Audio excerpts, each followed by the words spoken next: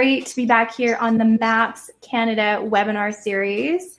My name is Shannon Smedella, and I'm your host for the series, Examining the Psychedelic Renaissance. We are now in season two. And I just want to say that it's been a pleasure hosting both season one and season two of the series. And it's been even more of a pleasure getting to know all of these amazing speakers leading the way in the psychedelic renaissance. So if you can believe it, we are now in episode 12 of season two. And we've had a diverse array of speakers that have already presented and four very special ones that still have to present. Each of these speakers and panels that we've had will be showing up to share important information and their take on the psychedelic renaissance. So at MAPS Canada, the Multidisciplinary Association for Psychedelic Studies, we are on the forefront of conducting studies to develop psychedelics into safe and legal medical treatments since our formation to conduct and publish scientific research and education supporting the beneficial use of psychedelic medicines, MAPS Canada relies on public donations and fundraising initiatives. The funds raised from this webinar series go to fund this research. So thank you so much for being here because your investment makes a difference. To view the different studies that MAPS is currently working on, of course, you can find these on the website at mapscanada.org and maps.org. Also, to make this webinar possible, we have many volunteers at MAPS Canada that help out. So I just want to take this time to say a huge thank you to all of them, the people that work behind the scenes in tech, and uh, everyone that makes this possible. So thank you so much to our volunteers and also thank you to our amazing sponsors. If you haven't checked out the perks that they've supplied for season two, we'll be putting a link in the chat afterwards. So without any further ado, we're gonna start with a talk from our guest today, Wade Davis. After that, we will have a Q&A session. So make sure and put your questions in the box at the bottom and vote up your questions because we will be prioritizing those. And also let us know today where you are tuning in from in the chat. So I always like reading Wade's bio because it is so amazing and so full of wonderful things. Wade Davis is a writer, photographer, a filmmaker whose work has taken him from the Amazon to Tibet, Africa to Australia, Polynesia to the Arctic explorer in residence at the National Geographic Society from 2000 to 2013. He is currently professor of anthropology and the BC Leadership Chair in Cultures and Ecosystems at Risk at the University of British Columbia. Author of 22 books, including One River, The Wayfinders, and Into the Silence, winner of the 2012 Samuel Johnson Prize, the top nonfiction prize in the English language. He holds degrees in anthropology and biology and received his PhD in ethnobotany, all from Harvard University. His many film credits include Light at the Edge of the World, an eight hour documentary series written and produced for the NGS. Davis, one of 20 honorary members of the Explorers Club, is the recipient of 12 honorary degrees, as well as the 2019 Gold Medal from the Royal Canadian Geographical Society, the 2011 Explorers Medal, the 2012 David Fairchild Medal, Medal for Botanical Exploration, the 2015 Centennial Medal, of Harvard University, the 2017 Roy Chapman Andrews Society Distinguished Explorer Award, the 2017 Sir Christopher Ondaatje Medal for Exploration, and the 2018 Mungo Park Medal from the Royal Scottish Geographical Society. In 2016, he was made a member of the Order of Canada. In 2018, he became an honorary citizen of Colombia. His latest book, Magdalena, River of Dreams, was just published by Knopf in September of 2020. So if you haven't checked that one out, it's available for purchase now. So today in our webinar, we are going to speak with Wade and he'll be recounting the wonderful and fascinating story of his counter encounters with Bufo alvarius. So let's welcome Wade Davis. Hi, Shannon. Thank you very much for having me again. Hi, Wade. It is so great to have you back here. And uh, I've been waiting months for this story. So well, super little, excited. It's a little bit of levity, I think, in the in the dark winter of our uh, um, discontent. Um, yeah, I, you know, I'm delighted to be back and supporting MAPS. And I, I think that, um, you know, those of us who have been around for a long time in this space, um, dealing with the incredible folly of the war on drugs. You know, a trillion dollars, more people today after 50 years um, using worse drugs in worse ways than, than ever before. The amount of agony that it's caused, the, the, the fact that because of the war on drugs, there are actually more Americans with criminal and arrest records than with college degrees.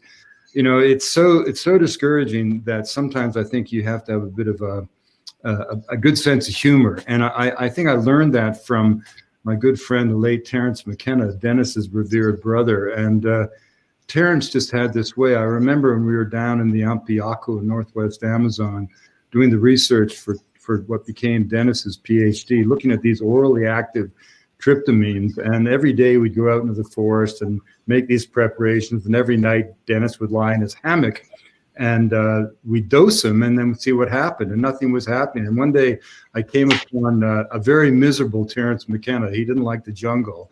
Uh, and I said, Terence, what, what's the problem? He says, I feel like a crystal of sugar on the tongue of a beast, impatiently awaiting dissolution. and then, and then he pulls from his pocket this, this pure vial of chemical, pure DMT. And I, and I said, Terence, I was kind of the titular, not the head of the expedition, but because I was an anthropologist, because I spoke Spanish, I kind of was a liaison with the, uh, the Bora and the Witoto people.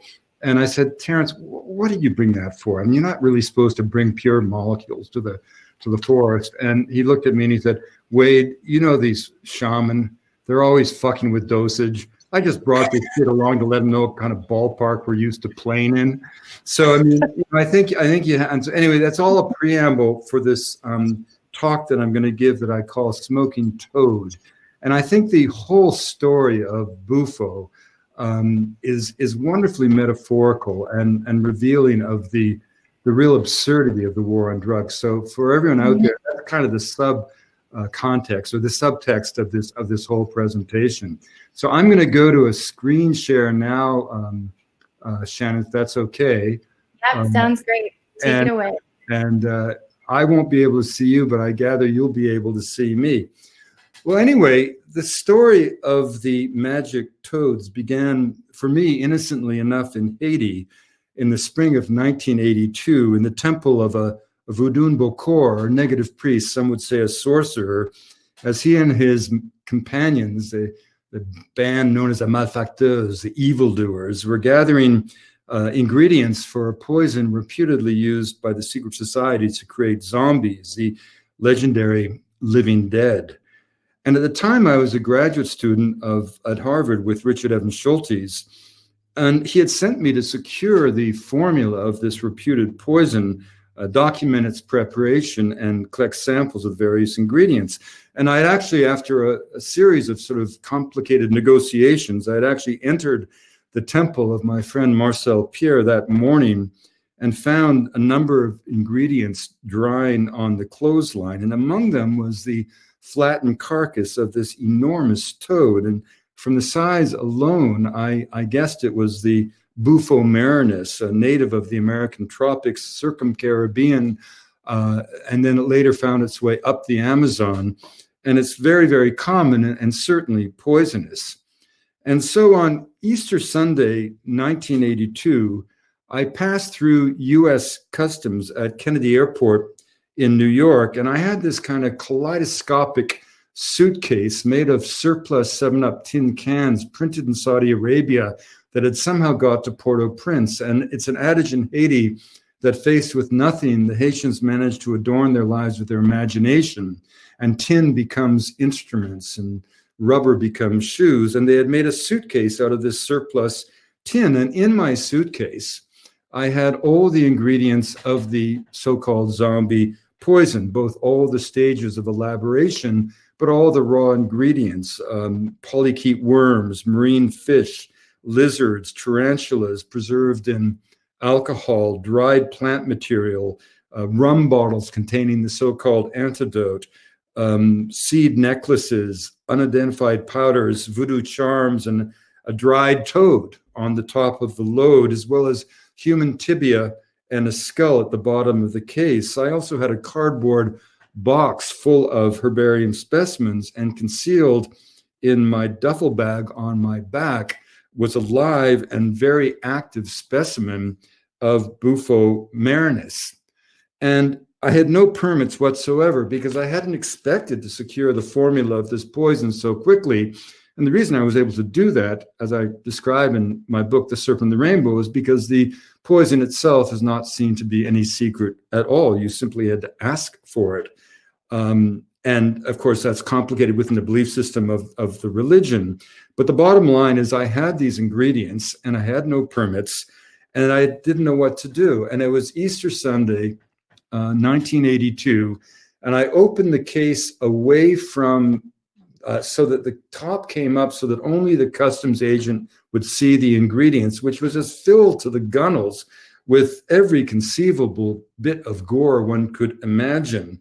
And what I'm going to say now, I don't want to shock you with my language, but I'm simply quoting word for word exactly what your U.S. Customs agent said to me on that distant um, Easter Sunday in 1982. His voice had been tempered by the back streets of Brooklyn, and he looked up at me and said, Look, it's Easter fucking Sunday. I didn't even want to fucking work today. I don't know who the fuck you are. Just get the fuck out of here. Well, that's how the zombie poison came into America. Now, the following morning, including this live Bufo marinus toad that was in my my my duffel, the following morning, uh, I made my way through the dark corridors of the Museum of Comparative Zoology at Harvard, naturally leaving the various ingredients with the various specialists. In the herbarium, we looked at the plants involved in the poison from the herpetologists uh, I brought the fish to the ichthyologists, and of course, from the herpetologists, I quickly learned that the toad in question was indeed Bufo marinus. Now, this toad, as I poked around the literature, uh, has quite a story.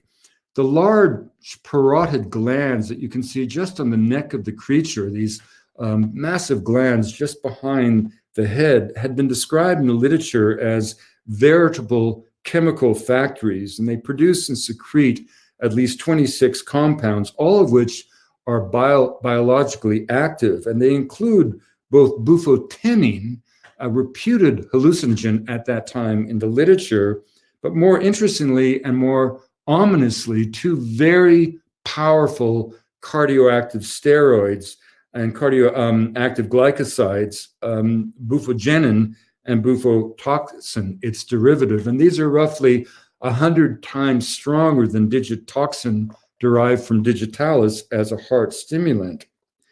Now, even as I eliminated the toad from the zombie investigation, because remember, I wasn't looking for uh, a plant or an animal that could kill, lots of plants and animals can kill. I was actually looking for a natural product found in the environment in Haiti that could make someone appear to be dead so profoundly it could fool a Western trained physician. And I would find that in these curious um, uh, uh, fish uh, that contain the strange, um, complicated neurotoxin, uh, tetrodotoxin. But again, that's another story. It was clear to me that Bufo was placed in the zombie preparation in the same spirit that many of the toxic plants or the polychaete worms or anything that was kind of dangerous and toxic for really um, magical reasons was placed into the preparation.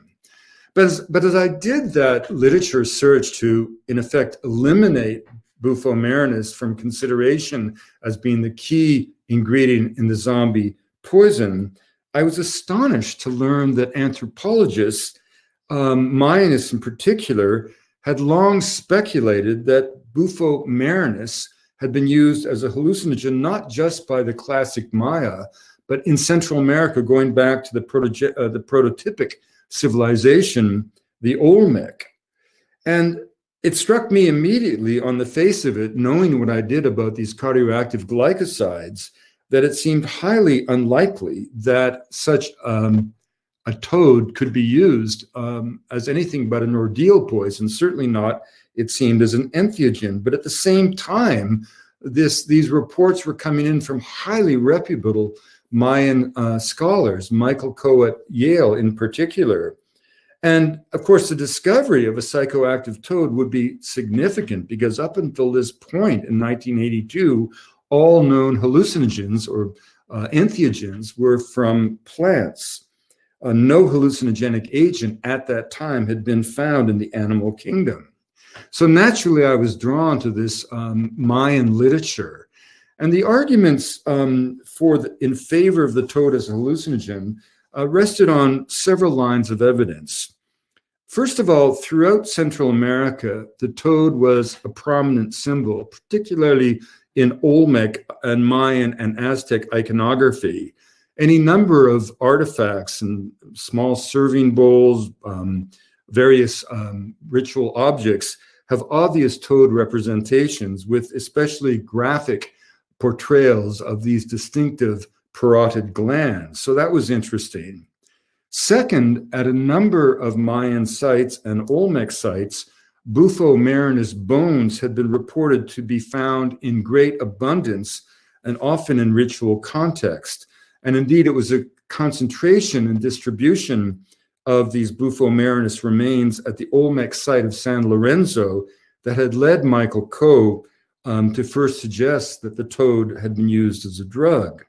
I didn't necessarily buy that because, of course, in the 1960s, anthropologists were finding drugs everywhere, competing with Carlos Castaneda for the public space. A third line of evidence was a report that the toad, Bufo marinus, contained in its glands bufotenin, a compound that had been found by Schultes in hallucinogenic stuff, snuffs known as yopo, made by South American Indians, particularly in the upper Orinoco, from the seeds of a legume Anadenanthera peregrina. Now, this plant, this tree grows uh, on, on the open grasslands of the llanos of Colombia and all into Venezuela, as well as in the Guianas and the Rio Branco area of Amazonia Brazil. So this was interesting, an interesting correlation. And finally, there was another report from the medical literature of an experiment conducted in the 1950s by a physician called Howard Fabing, who had injected pure bufotenin intravenously into human subjects and had reported the induction or the um, uh, or, or, the or the um, the causing of hallucinations. Finally, all of these Mayan scholars, these archaeologists, um, uh, all those in in favor of this um, hypothesis that Bufo marinus had been used as a hallucinogenic agent, all cited an unpublished account from a anthropologist by the name of Timothy a, a Knab of the contemporary use of Bufo marinus as a hallucinogen um, in the region of Veracruz, Mexico. So that was the evidence. Now, on the face of it, it wasn't very conclusive. After all, even if the Mayan iconography and Olmec and Aztec iconography does represent Bufo it doesn't necessarily mean that the ancient peoples were using the toad as a hallucinogen. Ritual symbols, of course, incorporate a wide range of meanings.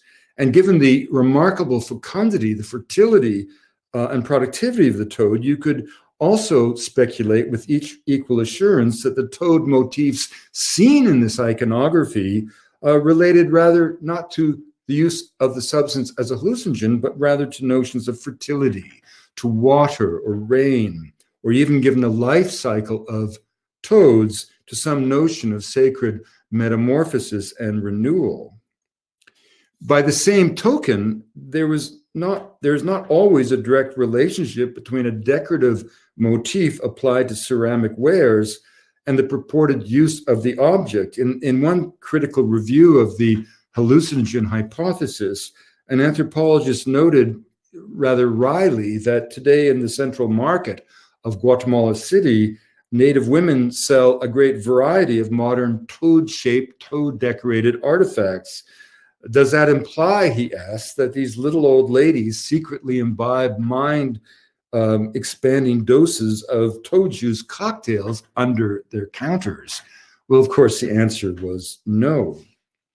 The other thing that struck me is that one of the things we know about the use of sacred plants in the Americas, be it San Pedro cactus on the coast of Peru, even ayahuasca in the remote reaches of the Amazon, and certainly peyote, first brought into the human imagination and repertoire by the Tarahumara in the Cordillera Occidental in Mexico, these substances turned up in the chronicles consistently. I mean, the, the one thing about the early Spaniards is they were great observers, and the priests were often physicians, the physicians were priests, and priest physician were the chronicles of the conquest.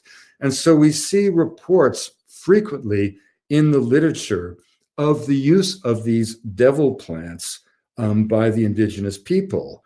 If Bufo um, marinus had been such an important source of an entheogen by these ancient civilizations, the Aztec, the Olmec, and indeed the Maya, why wasn't it reported in the chronicles? Because it wasn't. And so this paucity of um, historical um, evidence um, of the hallucinogenic use of these substances was another um, uh, uh, chink in the armor, if you will. Um, you know, if these substances had really been used in ritual context in such a way that they would be memorialized, carved into stone on the on the temples of this ancient civilization, surely the Spaniards would have um, made some mention of it. At least logic suggests that.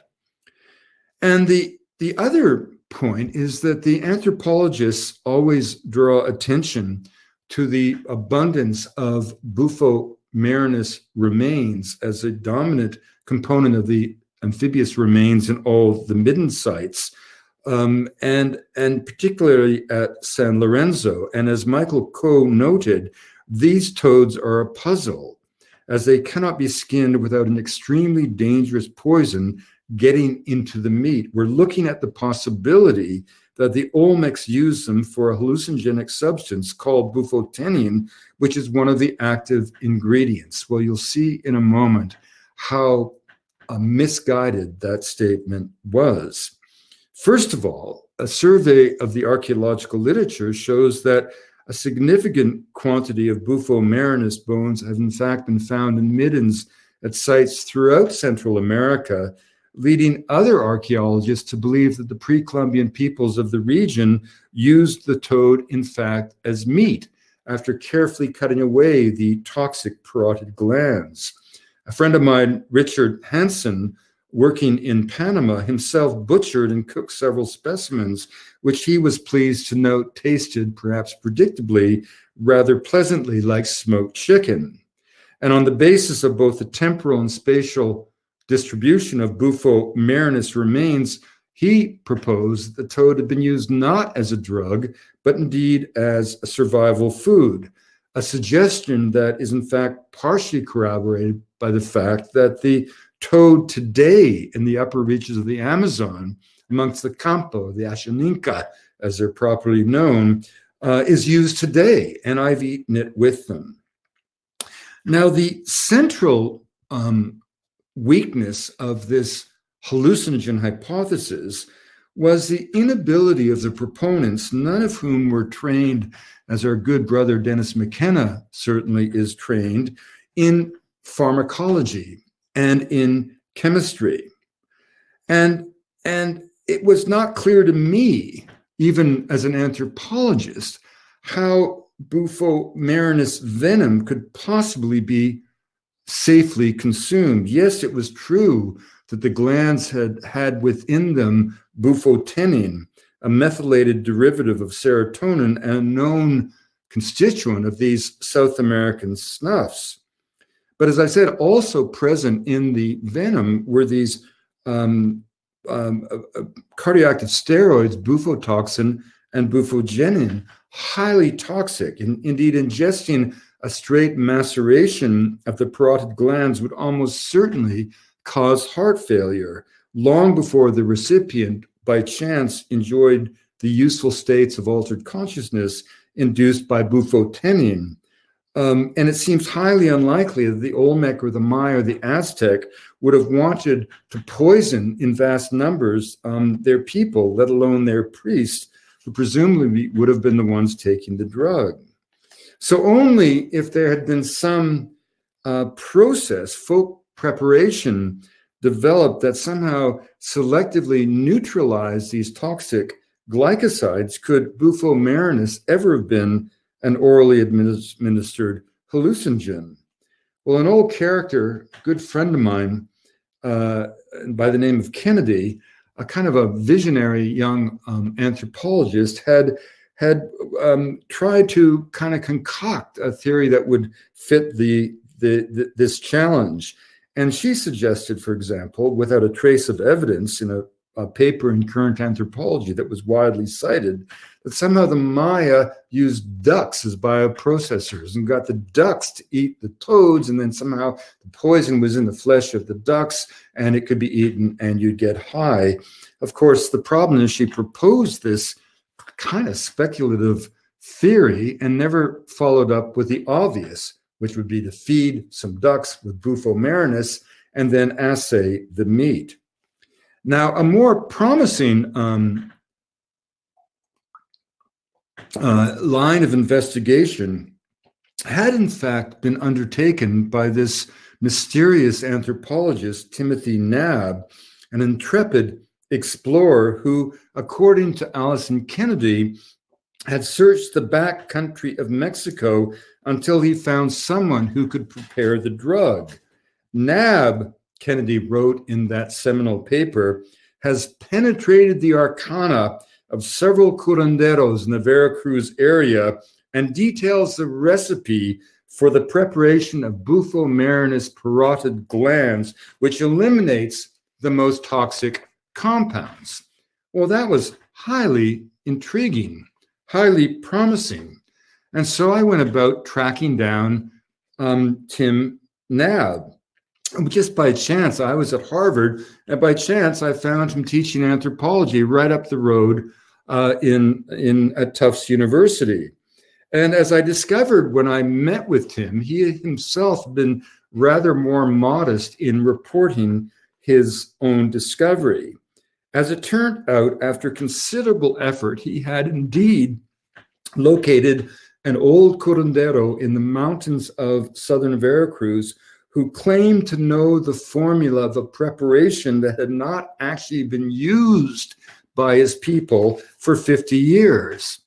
And although Knab persuaded the curandero to prepare the drink with the formula from memory, absol- under absolutely no conditions would the old man join Timothy in sampling it. Only very reluctantly did he consent to give a dose to Knab. And from what happened, it appears that he knew something that clearly Timothy, the anthropologist, did not. Tim's intoxication was marked, as he told me, by sensations of fire and heat, convulsive muscle spasms, a pounding headache, and delirium. Timothy reported no hallucinations, and from what he told me, it appears that he merely suffered the symptoms of a severe glycosidal poisoning. He never found out whether the preparation neutralized any of the toxic compounds, for it was never analyzed. When I asked him directly whether he thought the preparation was hallucinogenic, possibly entheogenic, he looked at me like I was a fool and he said, Hell no, this shit nearly killed me. Well, there was one more unsolved issue, and that was a report from the 1950s by this unknown chemist, Howard Fabing, who reputedly had injected pure bufotenin into the veins of prisoners, inmates at Ohio State Penitentiary. And when I finally chased down this literature, it turned out that the final dose in a series of, of, of sequential and ever increasing dosage of the pure tryptamine bufotenin had caused mild hallucinations and delirium with the skin of the inmates turning the color of eggplant. And these hallucinations were completely ephemeral.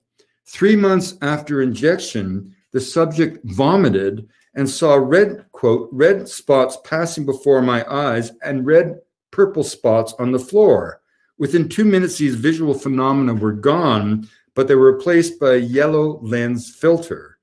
That was the extent of the so called hallucinations experienced by any of the recipients of the bufotenine injections. And what's more, later investigators using bufotenine on more prisoners tried but failed to replicate even those results.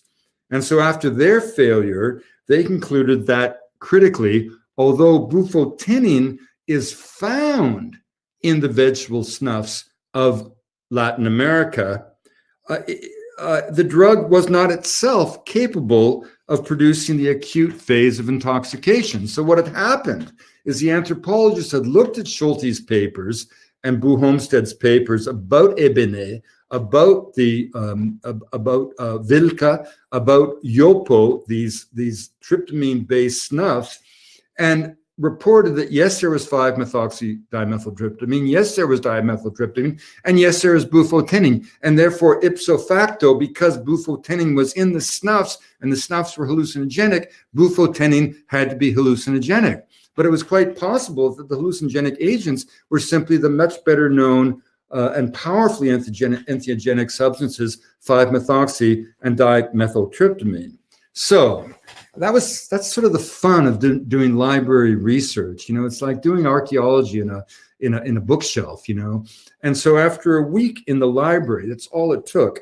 I was absolutely convinced that these Mayan anthropologists, with this wildly speculative idea about Bufo marinus being an entheogen, were completely wrong.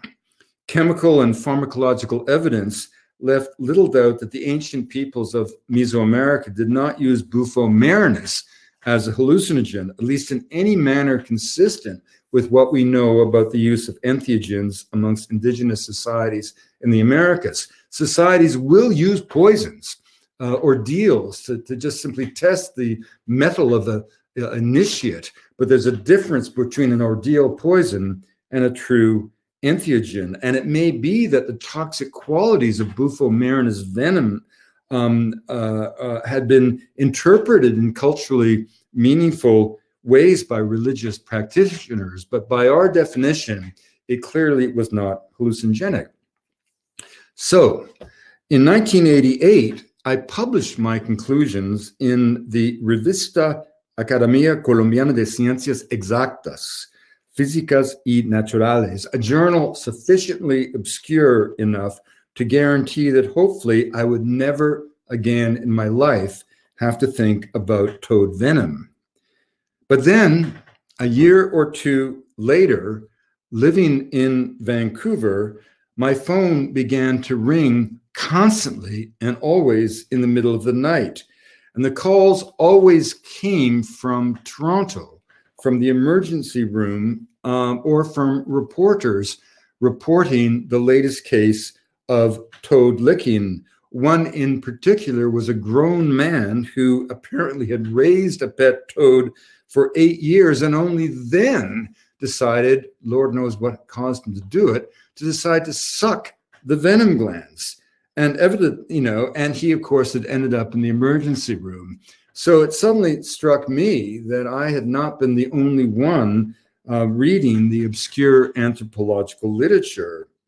And this particular individual, picking up on the mistaken idea reported by these Mayanists that Bufo marinus could get you high, he and a friend had squeezed the glands and ingested the toxic secretion. One of them suffered near lethal seizures uh, and remained at the time of that phone call in the intensive care unit of the North York General Hospital. Now, the toad in question, the pet, whose name literally was withheld from the press, presumably for privacy reasons, uh, was donated to the Metro Toronto Zoo. And of course, the Toronto police were completely overwhelmed and confused. As they told me when I spoke to them, the Canadian Criminal Code contained nothing about licking toads. Now, meanwhile, the Americans, however, were apparently all hip and aware of the potential danger of this new drug craze. With characteristic zeal, the drug enforcement agent had already, uh, by 1988, identified the milky white toad venom as bufotenin, a dangerous new hallucinogen. Now, the fact that there was not a shred of evidence suggesting that the compound was psychoactive had not deterred the US government from placing bufotenin in Schedule 1 of the Controlled Substance Act, along with heroin, LSD, and cocaine.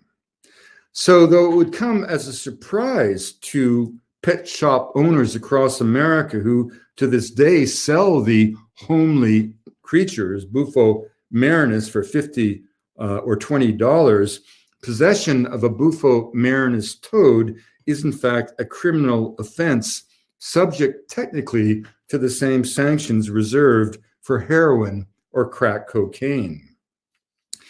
Well, the Toronto toad licking episode was just one small part of a wave of bufomania that made its way to North America from Australia in the 1980s. Now, the Aussies had always and had always had a complex love hate relationship with Bufo marinus ever since the toad was introduced to Australia in 1935. The reason it was introduced be, was because it was hoped that these fertile, uh, fecund, and voracious toads would somehow consume the gray backed beetles that were then destroying sugarcane fields all over Queensland. But unfortunately, the only thing in Australia the toads did not eat was the insect pest. And so, christened cane toads in memory of this agricultural folly, the creatures found themselves in a tropical paradise devoid of predators and flush with prey. And before long, the cane toads multiplied in the millions and began to spread inland at a rate of 17 miles a year. Now, some of the Aussies found them cute and kept them as pets, dressing them in little outfits like dolls.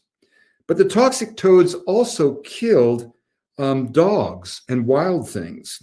And for many Australians, there could be no greater pleasure than driving down an open road across a migrating horde of cane toads, weaving the vehicle back and forth until the tires grew thick with the remains of flattened amphibians. One of the great sports in uh, in Queensland is cane toad golf, and I won't even tell you what that involves.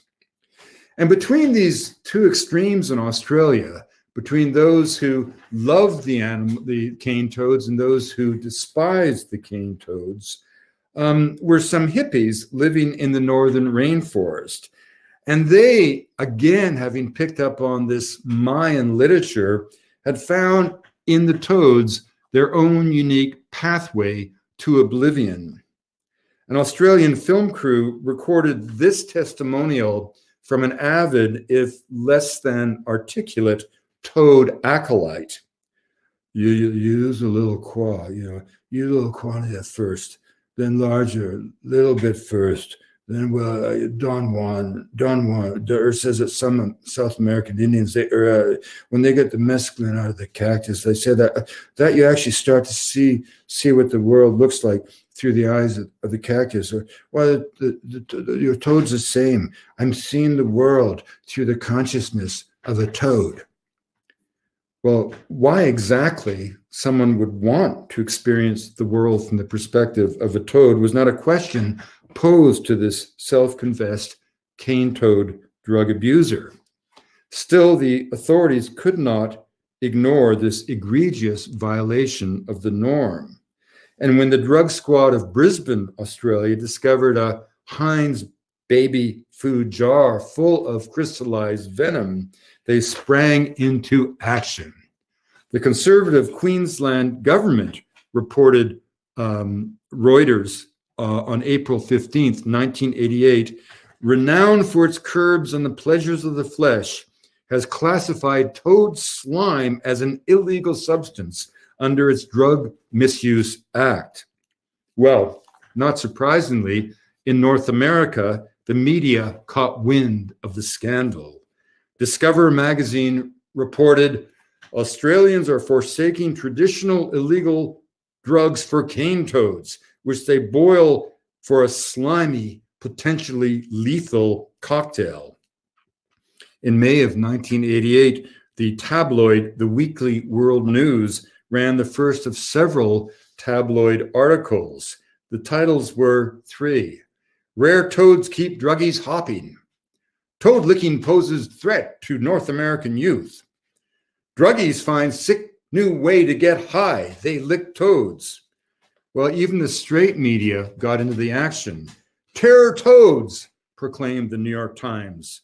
Monster drug toad invasion feared, proclaimed the Vancouver Sun. This is my favorite from the Albany Times Union, the paper of the capital city of New York State. Minds go loose from toad juice. Well, uh, although it was not at all clear precisely how many Americans were likely to find sucking toad glands an attractive recreational pursuit, all of these reports took the breadth of the alleged problem as a given. And so, as a cultural phenomena in the late 1980s, toad licking had arrived. The TV show, very popular at the time, LA Law, did an episode based on toads. Uh, X Files did an episode based on toads. In San Francisco, a punk band that was quite popular changed its name to Mojo Nixon and the Toad Lickers. And it reached a low point, of course, when Beavis and Butthead and The Simpsons touted toad licking on MTV. Now, naturally, this was too much, and politicians were beginning to stir. In Georgia, Beverly Langford, a state rep, actually introduced legislation warning of the quote, extreme dangers of toad licking becoming the designer drug of choice in today's sophisticated society.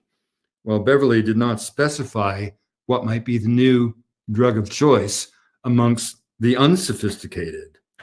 And of course, missing from all of this rhetoric was the obvious fact that an animal venom that contained no hallucinogenic agent, but which did contain uh, lethal poisons, was not likely to inspire a new drug craze. And whenever I had the chance, I tried, generally in vain, to make that clear. And finally, totally frustrated, I gave up and turned to the one person I knew who might be able to make sense of the situation. Well, many of you will know Andrew Weil. He's been a friend, a colleague, a brother of mine since Harvard days in the 1970s.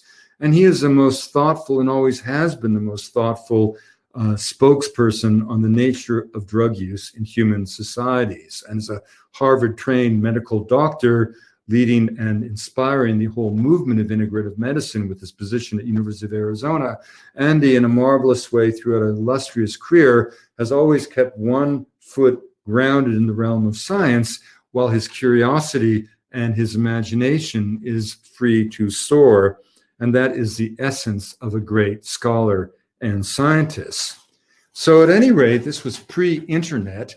And I sent by Federal Express, or maybe it was fax, a copy of my 1988 paper to Andy, who at the time was living in Tucson, the paper that I published in that obscure journal that had completely kind of devastated the idea that Bufo marinus could be hallucinogenic. And he immediately phoned back and he said, Willie, he always called me Willie, great paper, but just one problem. I keep hearing about all these freaks around here smoking toad. Well, I called him right back and said, I'll be right down there.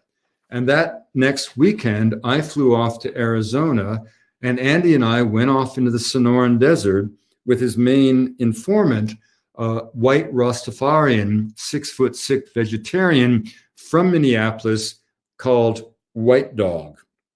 And White Dog took us into the Sonoran Desert. And his first words to me were, Have you tasted toad? And I said, No. And he said, It's an astral propellant, as if that might explain all. I had no idea what he was talking about. But what had occurred is that White Dog had stumbled upon an obscure pamphlet that was familiar to Andy by a man writing with a pseudonym, Albert Most, who had described not Bufo marinus, but another toad, and reported a different set of chemicals in its glands. And as Andy and I, with White Dog, with toads found in the Sonora Desert, following White Dog's lead, began uh, with protective gear to milk the parotid glands onto glass so we could dry the venom. I realized that the Bufo marinus was never found in the Sonoran Desert. And suddenly a light bulb went off in my head, and I said to Andy, This can't be Bufo alver- uh, marinus. And of course, Andy said, It's not.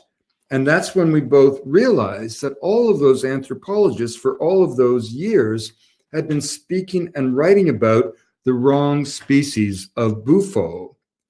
Now, Bufo marinus, the toxic toad, is native to the Yucatan and all the lowland forests of Guatemala, and that naturally had drawn the attention of the Mayan archaeologists. Bufo alvarius, by contrast, is found only in the Sonoran Desert. It's one of 200 species of bufo, and the Sonoran toad is morphologically extremely similar to that of Bufo marinus. But the constituents of the glands are very different. So different that the, the, the overall portrait of glands within the parotid, um, of chemicals within the parotid glands are actually used for taxonomic delineation to distinguish the species. And as it turns out, Bufo alvarius in its parotid glands has no less than 15% dry weight of the glands is pure 5-methoxy dimethyltryptamine. Such a concentration of a pure drug in a living creature was virtually unheard of and 5-methoxy dimethyltryptamine is not your ordinary compound. Vegetable snuffs are extraordinarily hallucinogenic. Terence McKenna once described the subjective experience of uh, smoking 5-methoxydimethyltryptamine as being within a rifle barrel lined with the Baroque paintings and shot out only to land on a sea of electricity. 5-methoxy, I used to argue with Professor Schultes, could hardly be categorized as hallucinogenic because by the time the individual is under its influence, there's no one home anymore to experience the hallucinations. It doesn't create a distortion of reality, it creates a disillusion of reality. Now, we knew that these toads were uh, hardly benign. Even Bufo alvarius, as Andy reported, um, would kill dogs if they they were mouthed by them, and it was certainly would be therefore orally toxic in humans. But from the testimony that we had from White Dog and the interviews we connect we did with other toad lovers, it seemed for certain that the venom could be safely smoked. Our thought was whatever toxic constituents were in the Bufo alvarius glands would be denatured and the full potential of the hallucinogenic component, 5-methoxydimethyltryptamine, would be realized. And on the strength of that deduction, we were confident to initiate uh, a series of self-experiments with Bufo alvarius venom obtained with the help of White Dog.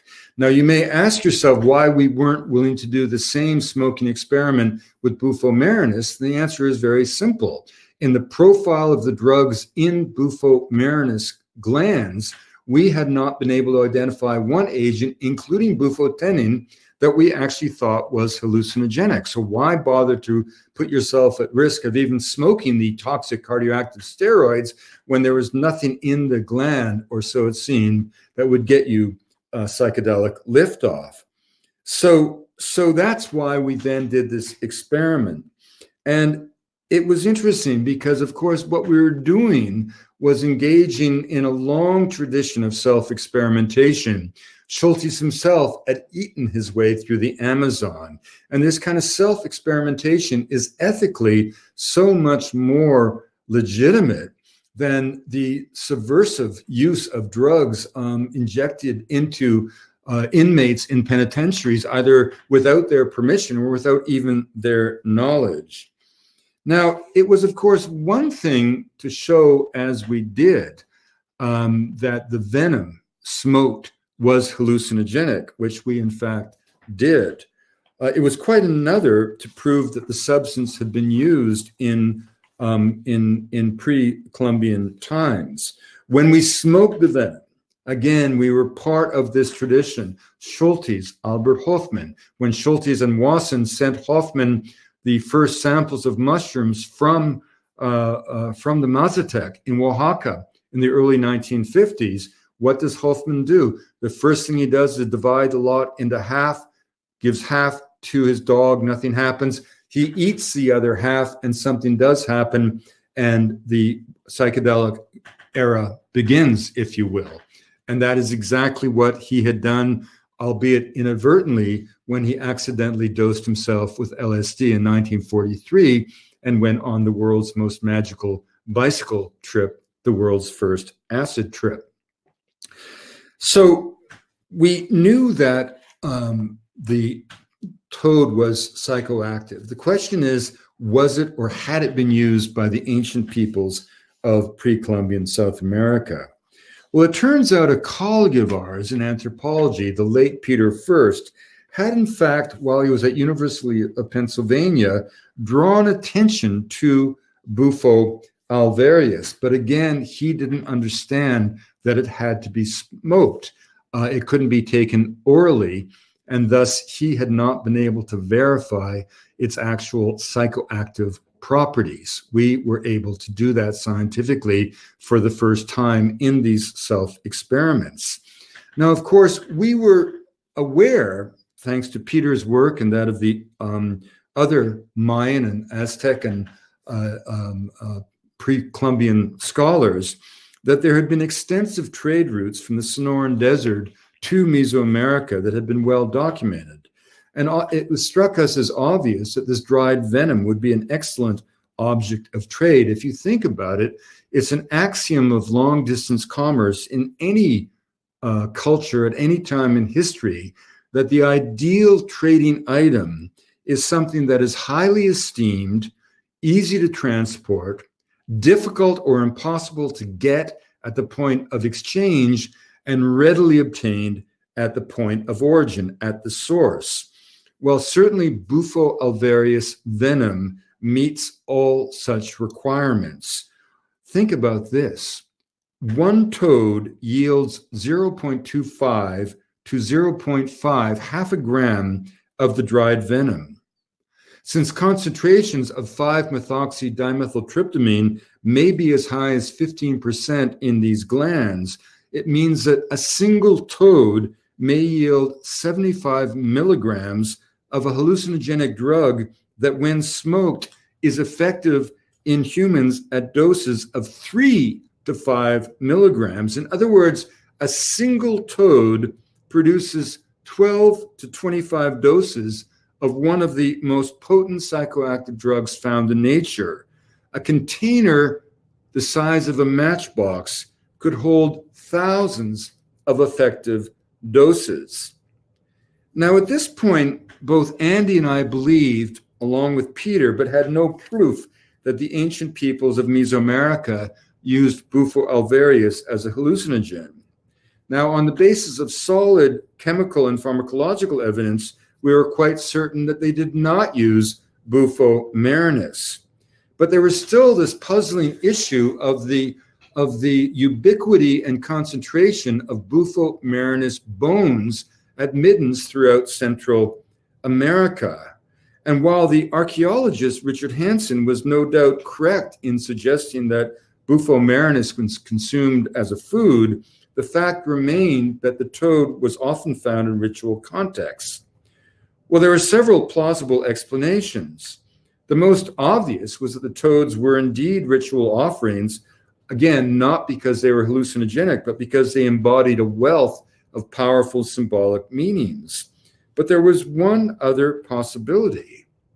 Both Bufo marinus and Bufo alvarius are, as you've seen, enormous toads, uh, readily distinguished from many other species in the genus by their sheer size. They can be 12 inches across. And so, in studying the remains of the amphibious component at these midden sites, archaeologists would have no difficulty separating Bufo marinus bones from the remains of any other toad uh, native to the region, and they wouldn't even think to compare them to Bufo alvarius, this obscure toad found in a completely different habitat several hundred miles away. So the next thing we did is we got in touch with the uh, paleo uh, archaeologist Elizabeth Wing at the University of Florida, who had been responsible for identifying the Bufo marinus remains at the Midden sites, uh, San Lorenzo, and other ancient sites. We asked her over the phone whether it was possible that some of those bones used in ritual context and identified as Bufo marinus could in fact have been Bufo alvarius. And she said, I am sure, as she wrote us back in a letter, that Bufo alvarius was not considered a possibility in the identifications I made from material in Veracruz and Belize. I am sure I just looked at the regional species and the large size of Bufo marinus separated it easily. And so intrigued, inspired by our inquiries, she examined one large specimen of Bufo alvarius that she found in the collections at the University of Florida's Museum of Natural History, and she concurred that it was indeed very difficult to distinguish the two species. And so, whereas it would, it would now be, by all means, it was premature to conclude that the ancient peoples of the Americas used Bufo alvarius as a sacred intoxicant, Andy and I nevertheless had made certain important discoveries. We had had, after all, opened a new ethnographic and ethnohistorical vistas for anthropologists and decisively laid to rest the deeply flawed and dangerous notion that Bufo marinus could get you high. And with luck, we thought word would spread and fewer kids, fewer individuals in general would end up in hospital emergency rooms having licked the venom glands, parotid glands of Bufo marinus. In addition, we had demonstrated that the secretions of Bufo alvarius, though known to be toxic when consumed orally, could be safely smoked and were powerfully psychoactive by that route of administration. And so those experiments of ours represented the first evidence of an animal agent from the animal kingdom, even as we provided clear evidence of a psychoactive toad that could have been used by the pre-Columbian peoples of any number of ancient civilizations in the New World. And we, of course, submitted the papers that we wrote uh, to both Nature and Science, thinking that we'd end up on the front page of one or the other. Instead, we ended up on the front page of the Wall Street Journal and the Toronto Globe and Mail, almost arrested with the ac accusation of having tried to start a new drug cult. So the response to our papers was rather extraordinary as Andy and I became the fulcrum about an ongoing debate about self experimentation in science.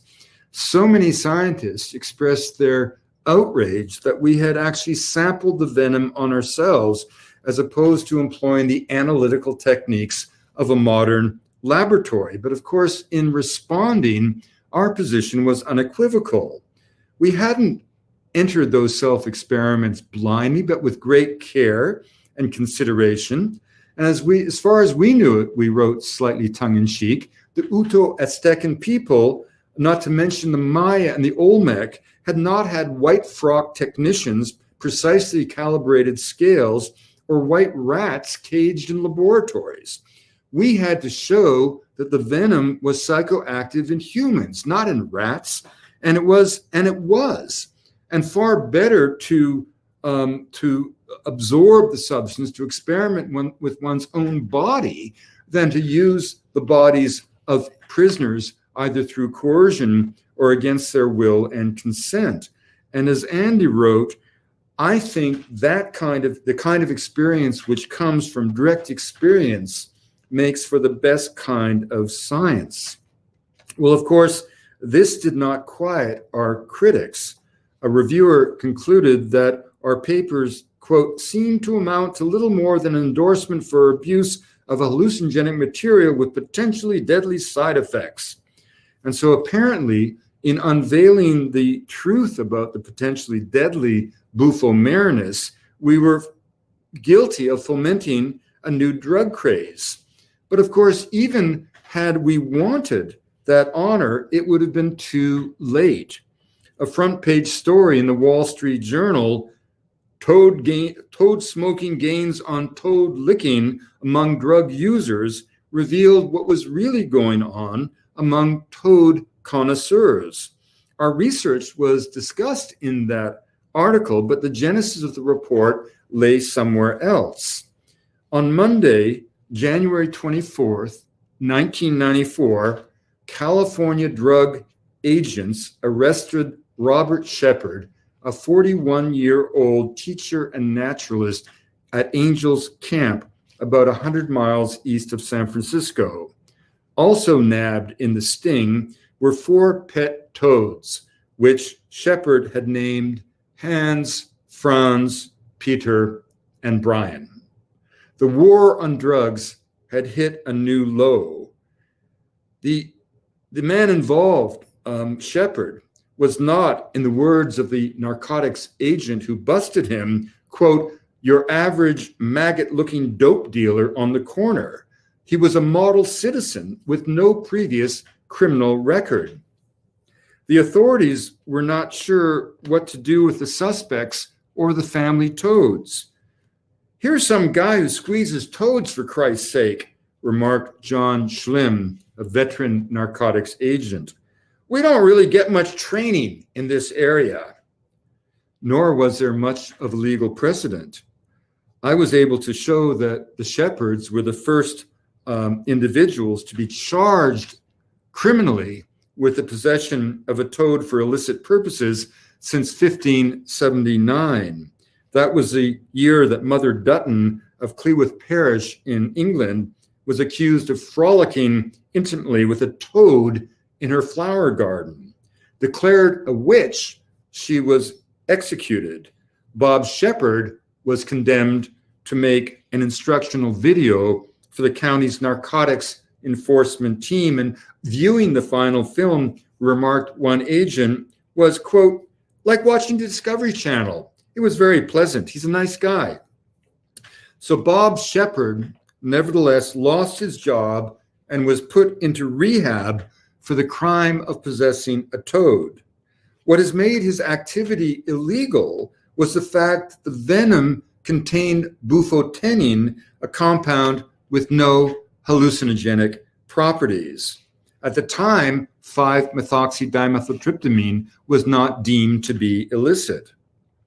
And so in the years since his arrest, I have to say that the worst fears of the drug enforcement agents have mercifully not been realized. Smoking toads has not swept the nation. For reasons I guess I just can't understand, the practice of milking the glands of a living toad, drying the venom on glass, and inhaling a substance that sends one into the netherworld of oblivion just didn't catch on. And we may never know whether or not the ancient peoples of the Americas, the Maya, the Olmec, the Aztec, and other peoples of pre Columbian Central America and Mexico ever really did discover the properties of Bufo alvarius. There is very little evidence in the modern ethnographic record that the toads were ever used in shamanic or folk culture by the first peoples of the region. But one thing we can be sure of they too were on the outlook always for magic potions. And even if they didn't discover the essence of the magic toad of the Sonoran Desert, they sure certainly would have envied White Dog's good fortune to have done so. Thanks very much.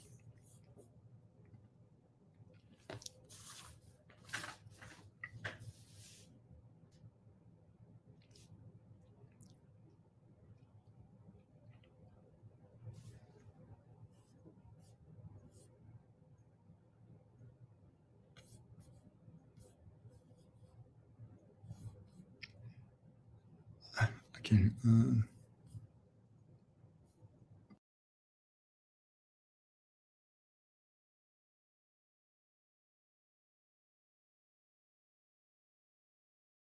There we go. How's that? Can you hear me now?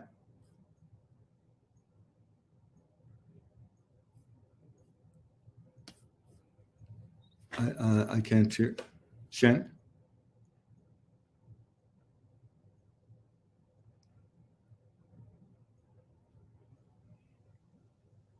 Do I have sound now? Yeah, now you have sound.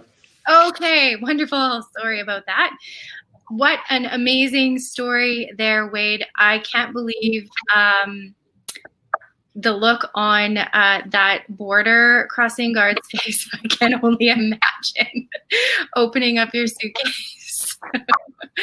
It's uh, it's interesting how times have changed and how um, how now you know there's certain things we can't you know get over the border. But uh, that was definitely a pleasure listening to. You, so thank you so much for sharing that. And I just also want to say that it's an honor to have you speak on the webinar series again because of your breadth of knowledge and your experience and your time in the field of psychedelics. You've been around uh, in this field for such a long time and you have so many stories. So it's so wonderful to have you share those with us. So we do have a few questions here and uh, let's see, we'll start with the one that's voted at the top. This is from Sarah.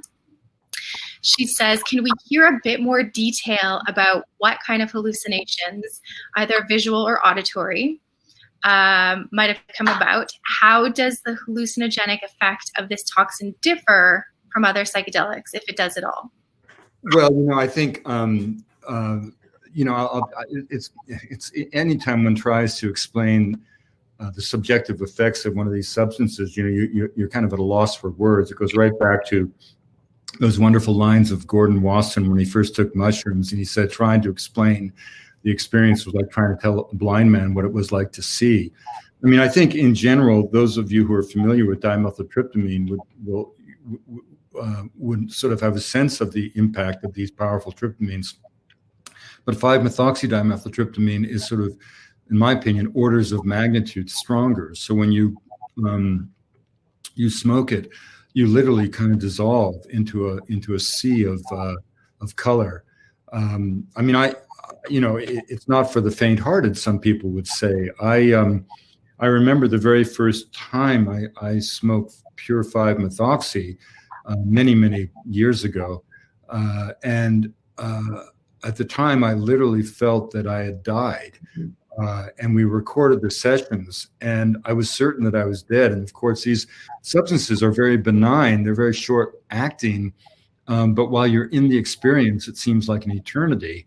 And uh, it turns out that i was as i was uh, in that experience uh, a single note was echoing out of my lungs for the entire time.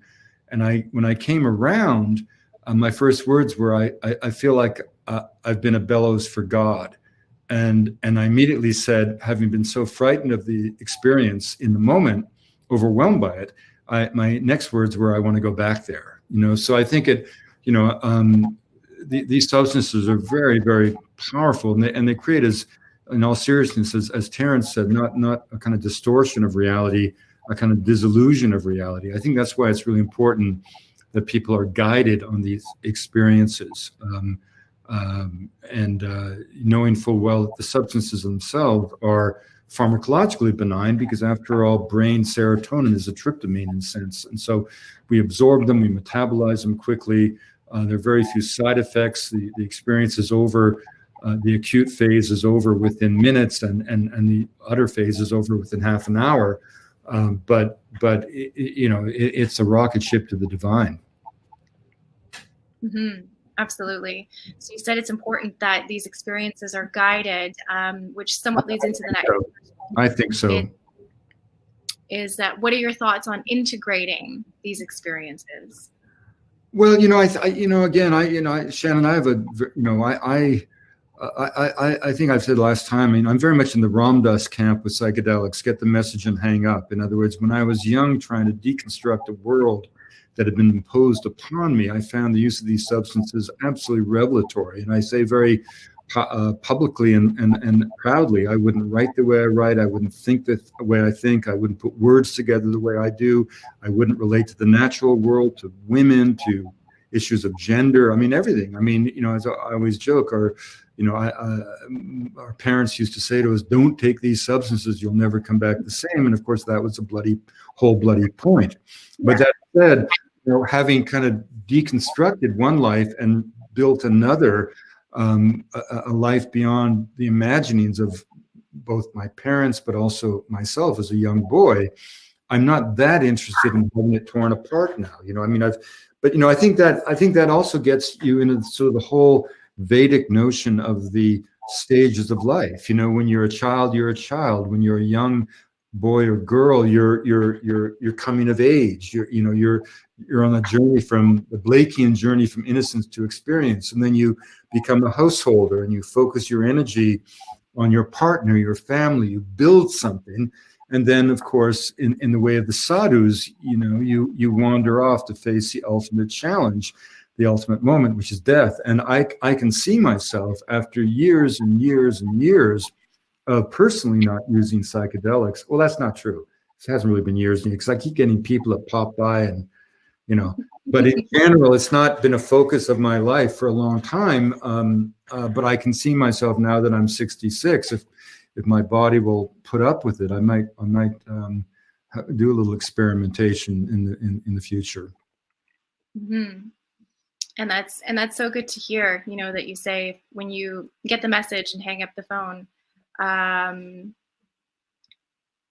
just uh, for safety reasons too. Um, well, I think you know. I think everybody. You know, I think there. I, I, I think that you know. Obviously, the, everybody's got their own relationship with these substances, and these substances, by definition, as Andy always said, have a kind of ambivalent potential for good or evil. They just create a template upon which emotional, psychological, uh, social dynamics can come to the fore and be, be obviously be accentuated um, uh, uh, um, and, and so, you know, everybody's got a different relationship to them. So I'm not being judgmental in saying that I got the message and hung up, but I, but I think, you know, that's sort of a difference between the classic difference in a way between Tim Leary and Richard Alpert. Albert got the message and he didn't hang up on life. He, he, he wanted, you know, it's like Dennis McKenna says, these substances bring the background to the foreground. You know, these substances reveal uh, a, another dimension of reality that in the moment seems to be the real world and what we live in on a mundane basis seems to be a crude facsimile of that dynamic and magical world and and of course the the the the, the um, the unfortunate thing about these substances, or one might say the fortunate thing, otherwise we couldn't function, is that we do come down. We drop back into this mundane world. And I think the religious quest of someone like Ram Dass was to ask, as my wife does in her Buddhist practice, how do we achieve that sense of space, that sense of being uh, through meditation or through other vehicles, other avenues to the divine? I mean, that's kind of a perpetual quest of people, you know? Mm-hmm, absolutely. You know, and as we're making our way through life on our way to enlightenment, you know, we're dealing with these karmas and these samskaras and these lessons per se. So the phone might ring again, right? you yeah, might have to no, pick it up. It. That, that's it. I mean, it could well. I mean, it could, it really could. Mm-hmm. And then there's another message, and then you do the work, right? And it's yeah. it's a continual basis. Yeah.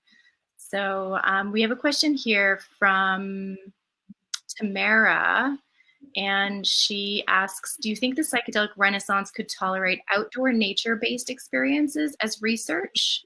What about the value of outdoor versus indoor set and setting? I, I think that's a wonderful question. I mean, you know, there, there's a sort of, um, you know, there's a legitimate focus, particularly with ayahuasca, because it's often used at night.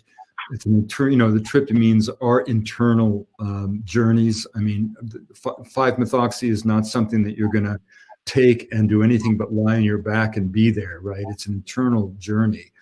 Um, and and uh, I, I personally find um, those internal journeys in a sense less interesting because I'm very much of the of the natural world. You know what I what I prefer and again, this is everybody. I mean, it's classic to me that the McKennas, who are like brothers to me, but Terence and Dennis are geniuses, and they are, in the best sense of the word, in their heads, right? I mean, that's what makes them so dynamic and everything. I'm much more sensual and in my body, you know, physical. I grew up in the bush. I, you know, I work, you know, as a, a you know, I've been in bush park ranger, guide, hunting guide, wilderness guide, rafting guide. I mean, I grew up in the bush, and I and I I love the natural world. It's I'm much more like in the camp of Gary Snyder, who's a great hero of mine. That's that's he's my model, and and so I personally prefer things like San Pedro cactus and the indole groups that sort of are more sensual. Um, MDMA or something like that, or, or what, what kind of creates physicality and physical connection to the natural world. And I, I actually think that uh, I, you know, and I, I, I, say this with no authority, um, but running off to the Amazon and taking ayahuasca uh, in in a kind of a commercial sense or even whatever sense, I'm not. I've never thought that ayahuasca would be very useful in therapy. I think that it's possible that the tryptamines could be useful in hospice, in palliative care, in in getting people prepared in a sense for the great journey in the sky, the the void of death, or at least beginning to imagine in a way that the void that comes with death may not be as scary as we all fear it might be. Um, but in terms of tools to allow you to change your life, to be a different person, I think the greatest message of these plants is what they can do to infuse our imaginings with a deep appreciation of nature. The way that you can take San Pedro or peyote uh, and and stare at a blade of grass emerging from the desert sand and simply be uh, for for an hour or more um, overwhelmed by the miracle of photosynthesis and come away with this deep, powerful appreciation that, as Dennis says, the plants are here to teach us. You know, so I I've always found those kind of physical, sensual, uh, visceral, um, uh, um, uh, tactile uh, and, and very much you know not I not taking a tryptamine like even ayahuasca that kind of leaves me prostrate you know that obliterates my agency. I want I I personally prefer the substances that that empower me that make me feel even more aware more conscious more in the moment more more my eyes under the world very conscious of my identity very much in my power and interpreting the natural world uh, with a totally different way um, from that of my father. That's what there's. That's how I grow. I mean, that's how how in some sense I, I went from someone who had never studied biology, uh, even in high school, to ending up getting a PhD in biology at Harvard. It's because I became so amazed by nature, in good measure through the psychedelic experience. I mean, the night uh, I figured out the uh, metabolic pathways that give us photosynthesis, the, the, formula of life. You know, this amazing, amazing thing that you know, carbon dioxide and water sparked by photons of light will give us the food we eat and the air we breathe. Once I figured out how that worked chemically, I, I went nuts, and I was actually asked uh, by the security guards to leave the science library at Harvard because I was disrupting the peace as I went from table to table, shaking and screaming at people. Do you have any idea what this is? It's God in a, you know, in a in a formula, you know. And of course, I was a lunatic, but um, um, but that's how I felt about it. So I, I I don't separate my experiences viscerally with San Pedro in particular from the path that led me to the serious study of science thank you so much for sharing that. And uh, and like you said, you know, just staring at the blade of grass, it it not only gives one a greater experience of that moment, but it just makes your life better when you can connect at that level with all that is. You know, whether we're using psychedelics to deal with issues and trauma, but we can also use them to just be better people. Yeah, um, I think so. I, mean, I think I, I always say, I think I said last time, Shannon, when you, all of us, when we look at the uh, you know, if you look at the certitudes of Edwardian England about the role of women, the role of men, the, the, nature of race, you know, you name it across the board, uh, not one of us in this modern age would would would agree with any of those certitudes, and in many cases, we'd see them as being both morally reprehensible and, and sort of transparently stupid. You know, I mean, um, and yet when we try to track how we went from thinking like that as say a, a, European society to thinking as we do now with women, as I always say, going from the kitchen to the boardroom, uh, people of color from the woodshed to the White House, gay people from the closet to the altar, all in one generation. Um, how do we leave? How do we possibly leave out of the uh, formula of the recipe of social transformation uh, the fact that millions of us lay prostrate before the gates of awe having taken one of these substances? Mm-hmm absolutely and they're definitely definitely important in the i mean shannon i always i often and i don't, I don't want to go on we get some more questions but you know there's sometimes when i do so much public speaking and i and i know the material so well because i've written and made the books um, mm-hmm. i can sometimes literally be at the podium and i just it's like anything else you do it so much you're comfortable and i can be giving a complete presentation um, and yet have my mind completely somewhere else and um, there have been times when I I almost dissociate and I'm almost like watching this persona at the podium saying these things. And there have been moments when I go, wow, you know, where did those thoughts come from? How did that little boy raised in that bourgeois, banal suburb of Montreal, you know, in a world that treated women like that, you know, in a world where his father, you know, how did how did this person. I, I, don't mean that in any way to be precious or uh, suggest that I'm special, but we can all do that. You know, you stand up and you ask yourself, Shannon, how on earth did you go from that little blonde girl? Um, you know, like, I mean, you were so many things, you know, I mean, Miss whatever, Miss Canada or whatever the heck it was, all these, you know, you know, you had this whole other life and now you've gone and you're this and, and not to denigrate any of the other life and not to reject it. It's all part of who you are. But you cannot leave out of the equation of your own personal uh, emotional, religious, spiritual, psychological transformation, becoming the person who is organizing this today without acknowledging that you you opened your mind in a different way. And I think oh. that's really terrific.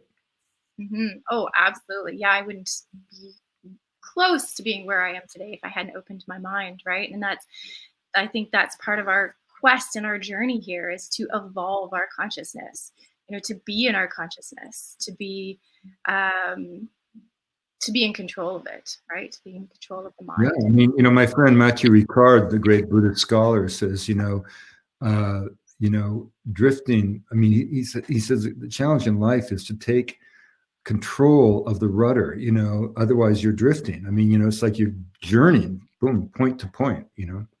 Mm-hmm. well maybe there's a question if we, if we uh yeah it looks like um, we have dr keaton patel here has one and he says have you heard of any groups working on novel ways to predictably prolong the 5-emo dmt trip during duration by slowing down and extending rate of alveolar absorption no, I, I, you know, I'm not a practitioner and and and by no means uh, an expert. Um, you know, and that would obviously be a great question for Dennis McKenna.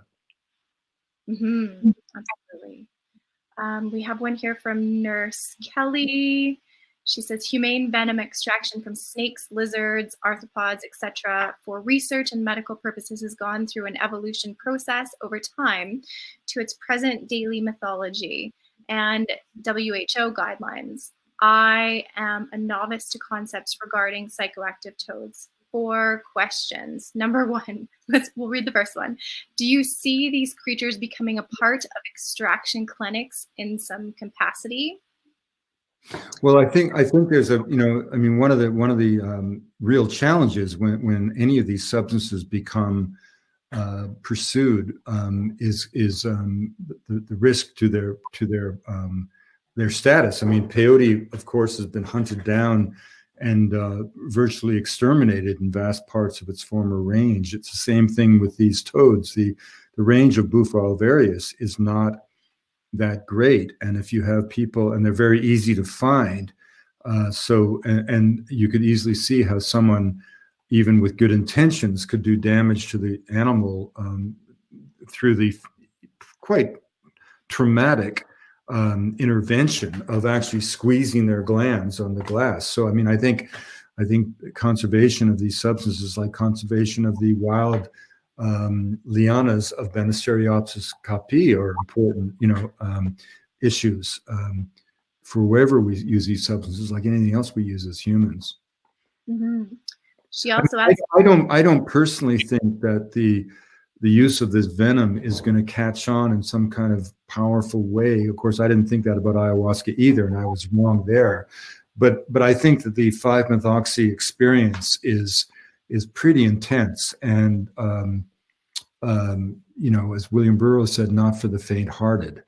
Uh, so I, I, don't I don't see it being, and I, I don't see it being any danger in the sense that um, it's short-lived, it's pharmacologically benign, but again, it, it's um, it's a level of intensity that I think it's best to be guided during that moment. Can the secretions be obtained without harming or killing the toads? Yes, the answer is yes. But again, you know, how many people will inadvertently harm the toad? I mean, I'm again, I'm no authority on, on milking Bufo alvarius toads. I just happened to write these academic papers 30, 40 years ago. Um, let's see. She also has a another question here. Have the chemical compounds been fully studied already, or are there potential discoveries yet to be made? I think in terms of toad venom, it's it's pretty well known because again, these these these combinations are used for taxonomic delineation. Okay. And is the toxin detectable in any body fluid testing? I don't know. I mean, I think I think the uh, the one remaining real unknown that's that is curious to me uh, is these Bufo toads clearly do cause morbid, morbidity and more uh, mortality um, if they're mouthed by dogs, which is quite frequent in the Sonoran Desert. And uh, so, what is it that's actually killing the dogs? And is that just denatured by the process of smoking? I assume that's what's going on. And I think there's, you know, much as I dismiss bufotenin as being hallucinogenic, I'm sure there's some phytochemists or, or, or, or pharmacologists who may argue that bufotenin is in fact psychoactive. I mean, I, I, all the reports I've seen, I've never seen it being psychoactive. But again, you know, I'm, I'm an anthropologist, so I yield to people like Dennis. Mm-hmm. We have one question here that we somewhat already uh, touched on, and it's from Kerry. And he says, Can you discuss the importance of studying these compounds by experience within the context of human consciousness? Well, I think that's what it's all about, isn't it? I mean, we're we're we're all I mean, I, I mean, I think, I think the, the you know, historically, and, and why this Renaissance is so important, um, is that you know we do all come from this Descartesian world, um, uh, which is a wonderful world. It, you know, it's given us a certain, it's liberated the individual from the collective. It's given us great mobility. It's given us great freedom, uh, free of um, you know the the tyranny of absolute faith. We're free of the um, the tyranny of the collective, you know, the, the, the community. Um, you know, I don't think any of us, no matter how much we may admire the integrity and legitimacy and, and, and the wonder of indigenous cultures, uh, I'm not prepared to have my father tell me who to marry. I'm not prepared to have my daughter um, accept orders from me as to who she, you know, I could go on and on. Um, but we, but we do come from a world in which um, the material dominates, where metaphor um, almost has no place, and all notions of myth, magic, and mysticism have been thrown out. And and um, I, I, think these substances, for those of us who come from this uh, very successful worldview, if you will, uh, these substances are are one of the shortcuts. You know, they give us a way of of uh, cracking open the sky, if you will. You know, um, in a way that you know i mean i think it's it's classic that people come out of the experience with these entheogens and turn to eastern religion i think the the the esoterica or the or the practice of of buddhism um, uh, might make a little bit less sense or be the baroque elements of the religion might be a more, more off-putting or the whole thing might be more of a challenge if people hadn't already had a subjective experience of something close to what the Buddha is talking about. And that's why I think we can then move down. So I, I think in, in that sense, these substances are, uh, you know, used judici- judiciously, thoughtfully, with intention um, and care, uh, uh, but with an open heart and open imagination, I think these substances really um, can be absolutely transformative for human beings. Mm-hmm. Absolutely.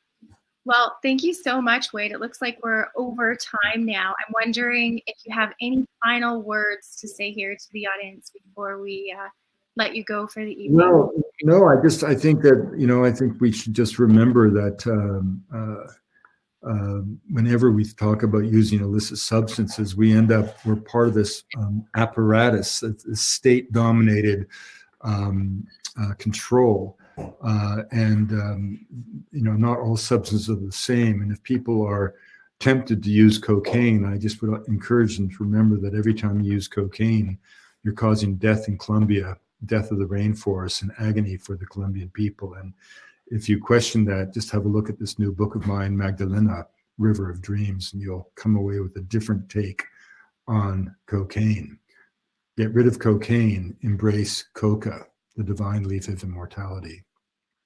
Mm-hmm. And that book just came out in September, and I think it's available on Amazon, right? Oh yeah, you bet. Wonderful. Thanks everybody for joining in. God bless you all. Thanks so much, Wade. It's always a pleasure to have you, and I know you have many more stories, so uh, it would be great to hear some more of them and have you back someday. So okay. thank you. Shannon. Bye bye. All right. So, just to close up the episode here today, I'd like to take this time to thank again our speaker, Wade Davis, and uh, his support for MAPS Canada. Also, thank you to all of you for being here to support the series, the speakers, and of course, this important research. A special thank you as well to all of our sponsors who not only sponsor episodes, but also supply the perks for the webinar series. And it looks like um, it'll be popped in the chat here in a bit if you already haven't checked out the perks. Our next episode is going to be next week, December 15th, with CEO of TheraPsil, Spencer Hawkswell. And uh, we will be discussing the progress they've made with psilocybin for end of life distress. Uh, so make sure and tune in for that same time next Tuesday, December 15th. And just a note on compassionate pricing, tis the season for giving. So if you know someone that can benefit from these lectures, please email us at webinar at mapscanada.org. We'll send you a special code. Um, if you know anyone who is strapped financially that would like to attend that can't, make sure and email us, and uh, we will definitely be able to help them out there as well. So thank you again to all of you for attending. Thank you again to Wade Davis. Again, always a pleasure to hear him speak. Thank you so much for being here, Wade.